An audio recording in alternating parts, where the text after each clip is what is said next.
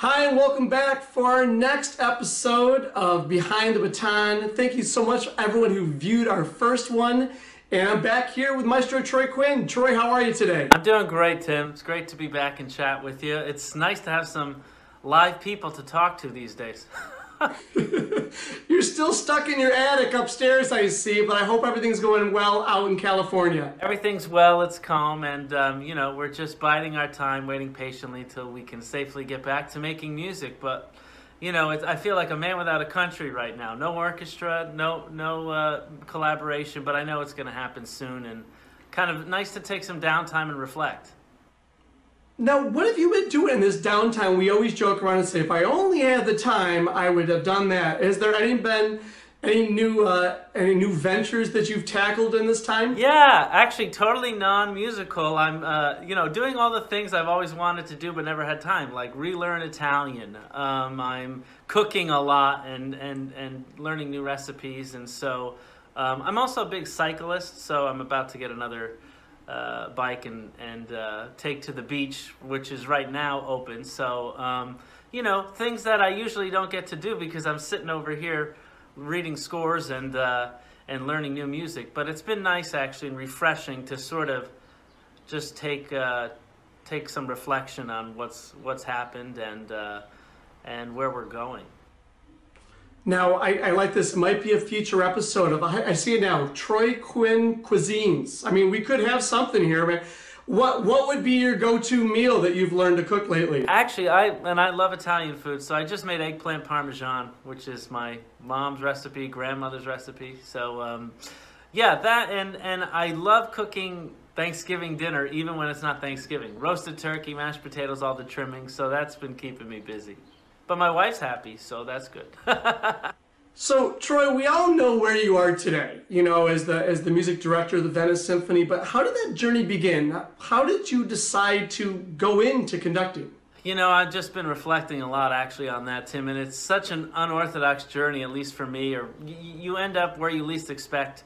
And, um, you know, for me, I started my world in music as a vocalist uh, a very long, far cry from orchestras. And um, when I was 12, I had a very um, life changing experience. I went with my parents on vacation to Los Angeles, where we have family. I used to go every year.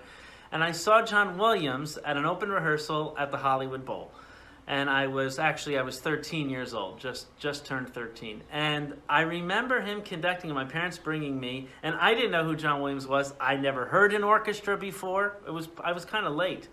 Um, and you know, I all he did was start off dun dun dun dun dun dun. dun you know, the Indiana Jones theme. And I heard that and I thought, wow, that is the coolest job. I want to do that. But of course, I had just been singing in choirs and in churches and and not trained at all. So I thought I really would love to be doing that and back at the Hollywood Bowl one day and have all these crazy delusions of grandeur. But that started off my journey into that was there was something more than just the vocal world. So um, really what happened was after I got my degrees in voice from Providence and Manhattan School of Music, I went back to Providence College as a 23 year old green special lecturer conducting the chorus and teaching other music classes. And then I said, I really want to do this conducting thing, but I don't have any experience. So how do I do that? Let me just start my own orchestra. And it, it kind of went like that, Tim. I just woke up one day and said, let me do that. So I did that, and it became the Ocean State Symphony in Rhode Island. We had seven great successful years, and one wonderful colleagues. I managed to get a lot of players from Boston Pops orchestras and the Rhode Island Philharmonic on their off time, mostly during the summer. Um, and we put on concerts at uh, Portsmouth Abbey School, a boarding school that I taught at for two years. And I went back every summer to do that, even while I was here in California working on my doctorate. So um, that was incredible because I got to work with these great artists and concert masters and great musicians, Boston Pops people who had 40 years in the orchestra, and here I am trying to put together an orchestra uh, for my own knowledge. So I really learned on the job. And that sort of catapulted me into coming to LA and then from there actually doing it professionally. That's so cool. So you started this your own orchestra. How did people? What do they think when here's this 23 year old guy who's just trying to start this startup event? How was it successful? Were there some bumps in the road? How was that? Definitely, they thought I was crazy, and everybody's question was, "Who is this guy? You know, um, what does he do? He thinks he can conduct Brahms and Beethoven, and and and then, you know, this was the initial thing, and um, and then they saw me on the podium, and I think once once we all got our bearings and saw that I, you know, could musically handle it, and, and everybody respected that. Because at the end of the day, the, the musicians, of course, want to work, but they, they really want to work with people that are not only great musicians, but, um, you know, love their craft and love making music. So I think that came through on the podium. And then, you know, I still have people now saying, I wish we could do this again. And, you know, obviously I had to leave that post after my time being so busy. But um,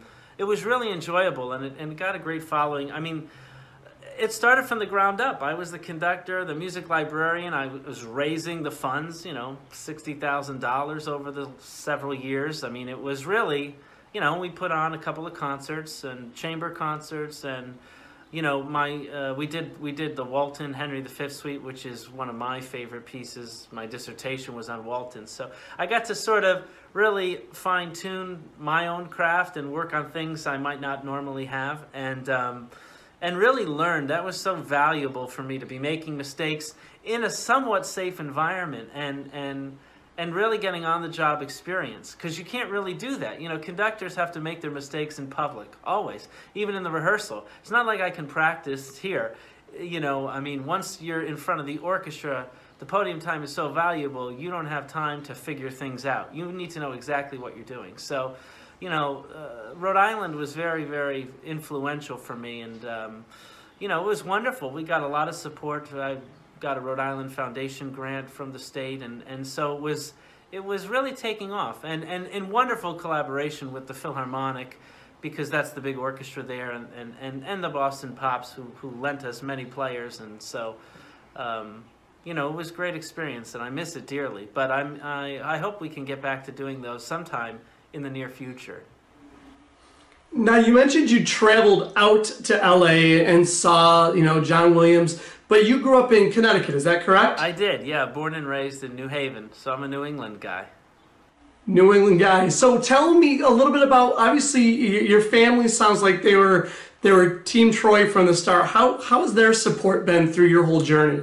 Yeah, well, I, I believe that's probably the biggest influencer in my life, Tim. My my mom and my dad, both are incredible. Uh, support systems and not professional musicians, uh, though my, my dad was a professional dancer and he actually met my mom uh, in his dance studio in 1978, I believe, and uh, they've been going strong ever since. So the arts brought them together and they've been very supportive. You know, when I first said in college, you know, mom and dad, I want to major in music, the reaction most parents get is, why don't you want to be a lawyer or a doctor? Uh, you're going to be an out of work, you know, musician. That's the stigma.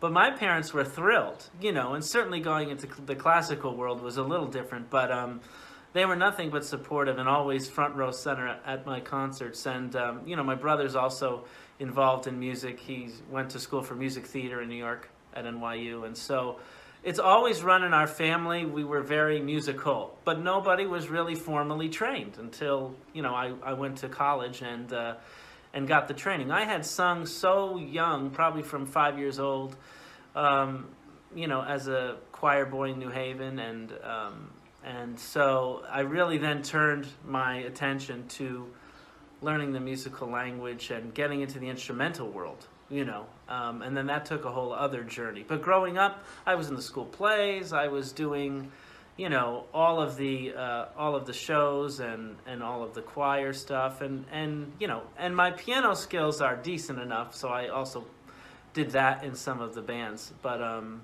yeah it was really an it, it was really all heading me towards where I eventually should be which is in front of the orchestra but a very unorthodox way to go about it. Most orchestra conductors start playing violin or cello or you know uh, percussion. And so I have a different type of outlook on it, which in some ways is refreshing because I didn't grow up playing the Brahms symphony since I was five. So I had a different take when I learned them when I was older. It was sort of gave me a fresh new way to look at it, and I wasn't influenced by what I had done when I was younger. You know, sometimes when you learn a piece and and you've got the bad habits that go towards that, you have to erase them. With orchestra conducting, I started as a blank slate, which was wonderful, and I was able to hone that. You know. Now that's so cool. Now uh, we're, we're gonna put down the baton for a moment here. Although we call this behind the baton, Right. I want to talk a little bit about some of the music things that you do that don't involve a baton or conducting. And we've noticed that in your office where you're recording from today, you have these really really cool movie posters behind Yeah, you. yeah, they're Tell us a little bit about you know you're in Hollywood, so tell us you know, about the, the the film and business and the TV music business that you're in out there. Well, again, I, I, I took I take off my conducting hat and put on the studio hat, which is totally I got into by accident. Really, I mean, I had I had loved film music growing up, obviously with John Williams, and that sort of was my gateway into classical music. I would go to the movies with my dad. He would always play all these wonderful soundtracks. Um, my grandfather would be playing opera and movie soundtracks. So um, I was very influenced by that. So I was always aware of Henry Mancini and you know John Williams and Jerry Goldsmith and and so when I got to LA, it was always my goal to get here, but I didn't think I'd be singing on movies or working on TV or anything. But USC really was the gateway to that, and so um, that started my little career there in in the studio world. And the first thing I I did was Glee. Really was the main thing, which was a massive hit back in the day, and. Um, you know, I have to confess, Tim, I've never really watched it. I've seen just bits and pieces of the episodes I was involved with, but um, you know, that actually opened the door for a lot of these things. And so, you know, I was in the chamber singers at USC, and that's a unbelievable group of, of the best singers in the country, really. I mean, Ch- uh, Charles Hirt founded that uh, choir, and people like Marilyn Horne have been in that choir. Um, Harve Presnell, who was in the Unsinkable Molly Brown, great Broadway singer. Um, so it was real. It's got quite a legacy, and I started there, you know. And and some of these contractors would come in and ask my teacher, you know, who's up and coming, who do you have, and and that sort of started it all. So I got hired by the wonderful Tim Davis to do Glee, and I did an episode of that, which was a wild experience. And then I went back and did a couple more. Um, and then one thing led to another, you know, and after that it was doing, you know, The Voice and The Tonight Show and, and things like that. And most of the time I was singing on these things, and most of the time putting my conducting baton on, which actually was very helpful, especially in the studio world as a conductor, because you got to sight read, you know, the Dickens off of these charts, and um, it's really important that you have those reading chops. So for me, that was that was uh, a way to sort of hone those skills, and also I kind of was lucky in a way because I had done that at a at a high level with the orchestral repertoire. You know, reading 28 staves is a lot more difficult than reading four on an open choral score. So, um, you know, and, and there's different challenges. Not to say it's easy, it's not at all, but um, you know, there's different skills, and so that kind of gave me a good basis to do this.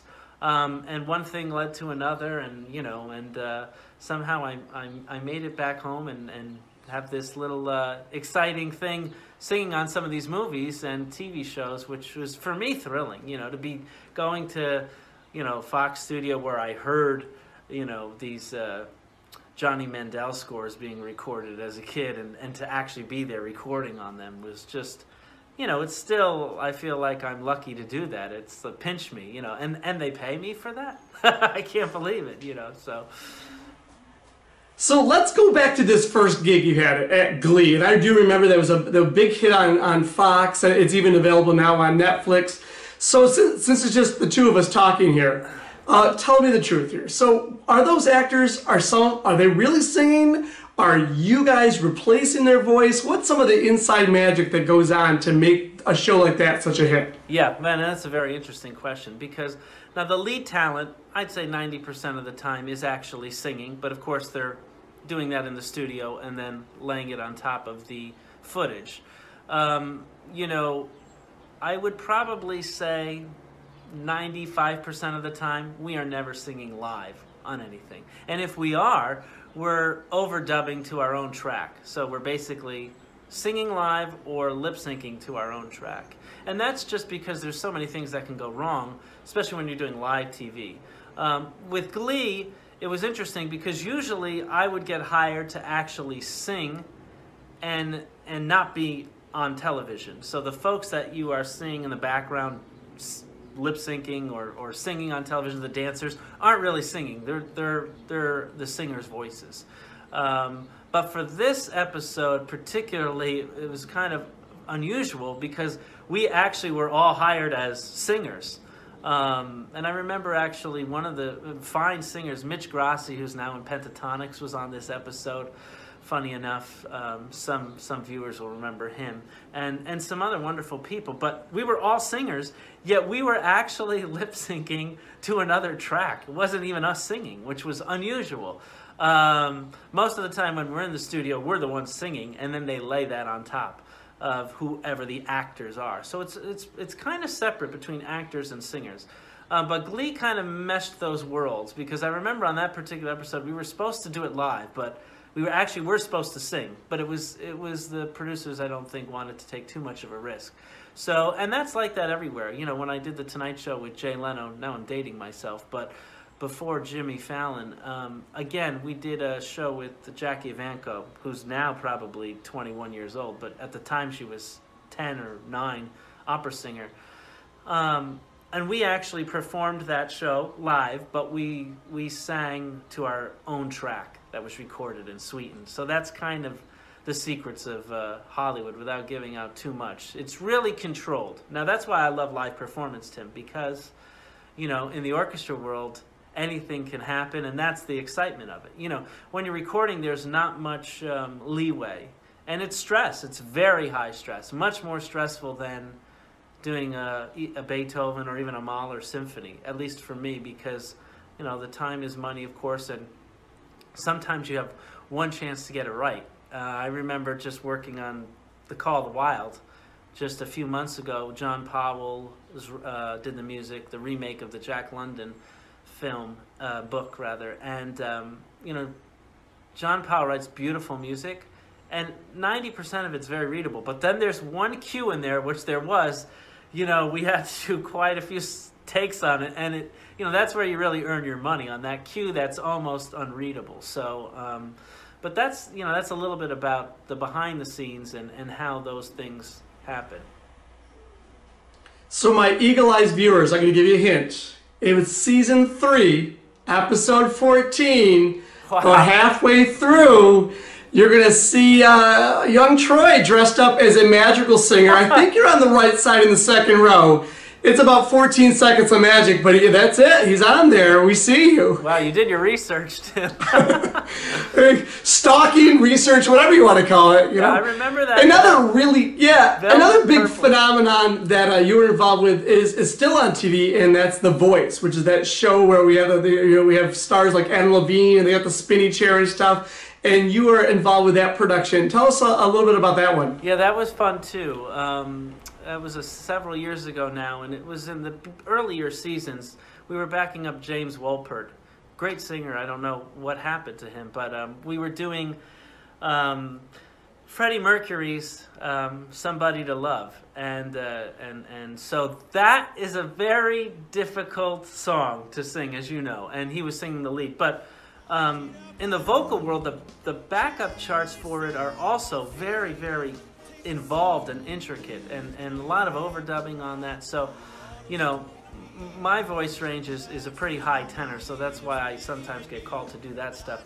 Um, but that's a screamer. I remember that was very fun. What was interesting about that shoot is that, again, we actually were on TV and we were singing to our own track.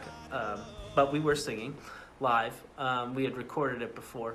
And um, the funny thing is, everybody wanted, uh, and this is what happens when you work in TV. You got to be ready for anything.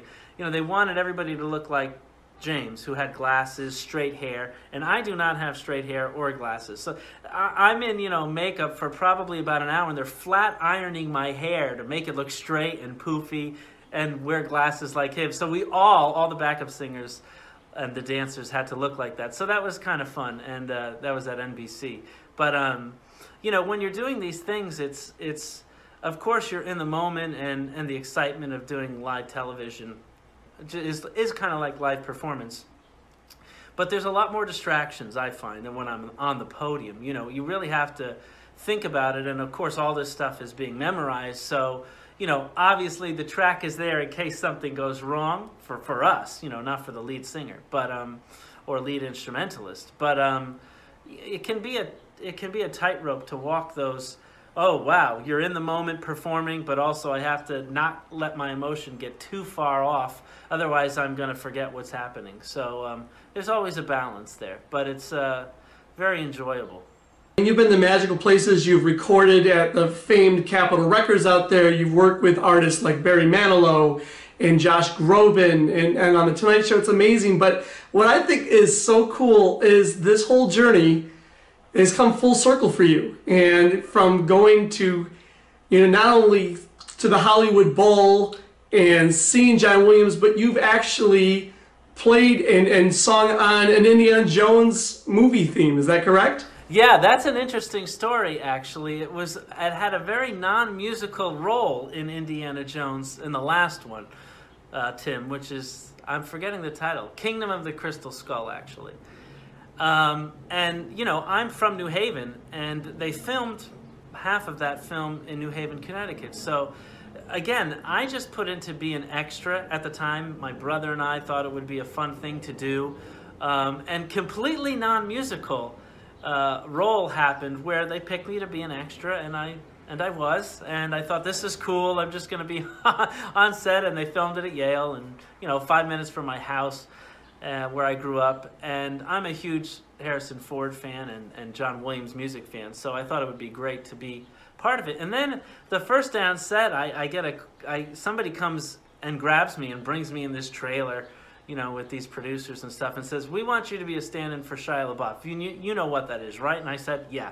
I had no clue what that was, or this is a whole new world. You know, I'm not really an actor. I just fake it once in a while. I mean, I'm my comfort spot is on the podium, but um, in this case, I just went with it, and it turns out, basically, uh, on these shoots for the main actors, they need somebody to come in when they set up the lighting and the technical aspects, and Spielberg, who directed it, gets the camera angles and all that, and not waste the actors' time. So that was sort of my role, and I was in their costume, and you, you, you know, on the special features DVD to get the behind the scenes and now, I usually don't appear in the film because the stunt doubles would actually be doing that type of doubling. But um, in this one instance, it was very unusual. They were filming at Woolsey Hall in New Haven, and they were filming this scene in the movie where the um, where Harrison Indiana Jones is with Mutt Williams, who is Shia LaBeouf's character, and he's driving. They're trying to escape the, I think it's the Russians or the Nazis or somebody, and. Um, and they come crashing into the library. They actually drive through the library, the motorcycle, and come crash. So that was the scene that, for whatever reason, this one day, the stunt double did the scene, and then after it, they called me in to set up the shots and the camera. And for whatever reason, because Harrison Ford also has a stand in, they brought in Harrison and myself to actually do and practice the scene and run some things. And they did film some of it from the back. So I actually made it in there, and it, it was an incredible thing before Shia came in to actually shoot the the real movie scene.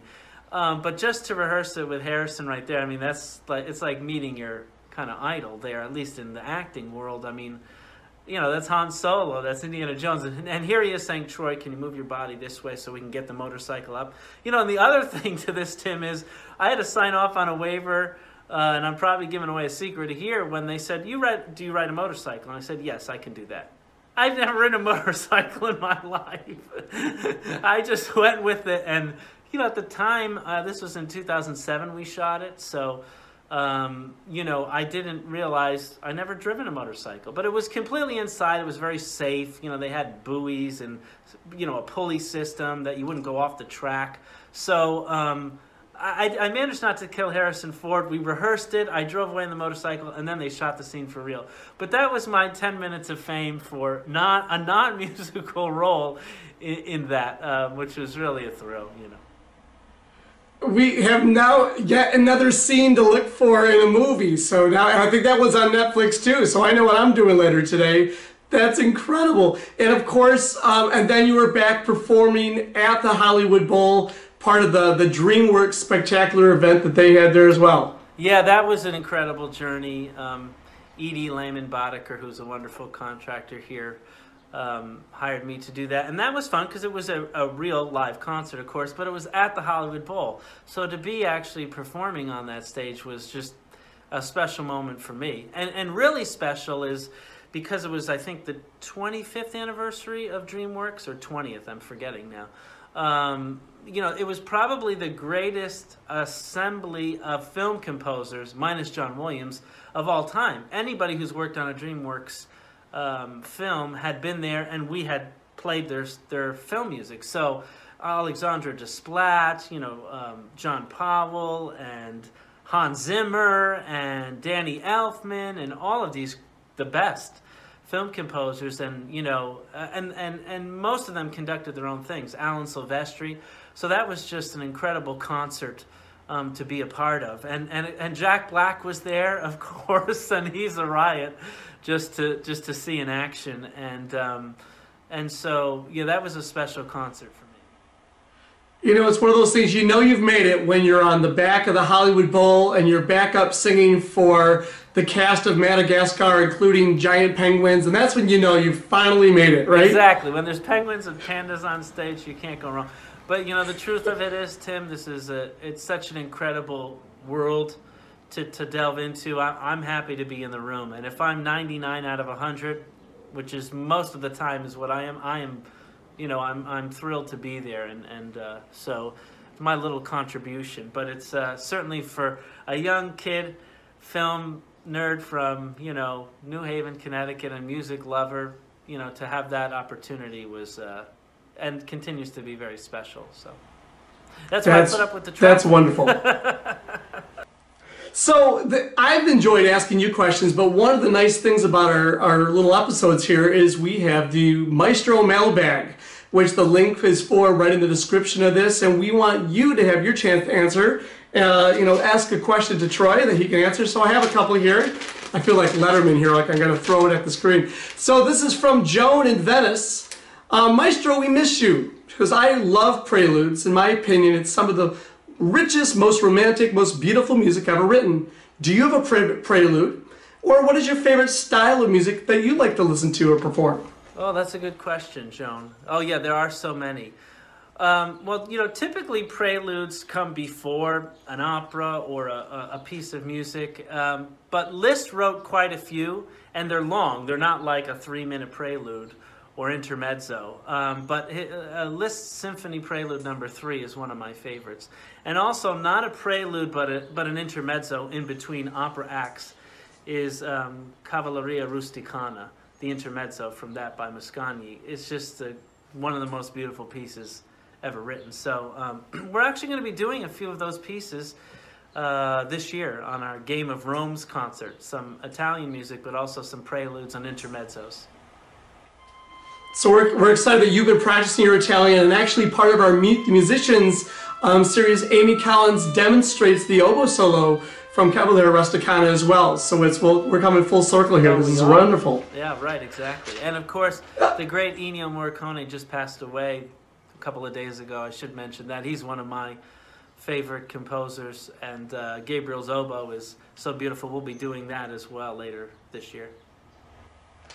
Another question we have is from uh, Mark in Nokomis. And uh, although you're out in sunny, beautiful California, he asks, when you visit Venice, what are your, some of your favorite things that you like to do or places you like to go? Ah, that's a good question, Mark. Yeah. Well, number one is the beach. I'm always at the beach. I'm a I'm a beach guy. So, um, and what I love about the Gulf water is you can actually swim in it and go in it. So, you know, I stay at the Great Inn at the beach. They take wonderful care of me, and I'm literally right on the beach within a minute. So that's my first stop. Um, you know, and for lunch, I have these little places that I love to just kind of go, and one of them is the soda fountain. I just love the throwback to the 50s, and you know, the, the people there are great, the staff, and, uh, and I get my, you know, turkey and grilled cheese sandwich and salad, and, and I'm happy for the day. Um, and then usually I eat after rehearsal, Tim. So I'm not a big eater before performance or rehearsals. Um, and, and, and, and I'll usually go to Fins at Sharky's, and the beer is gorgeous there. Um, either that, or if it's really late, our, our hangout spot really now with the orchestra is, um, is um, made in Italy.